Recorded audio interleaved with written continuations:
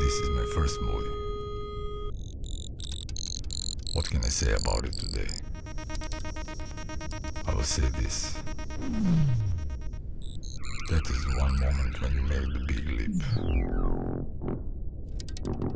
Your first movie already defines you, while you are really far from being defined.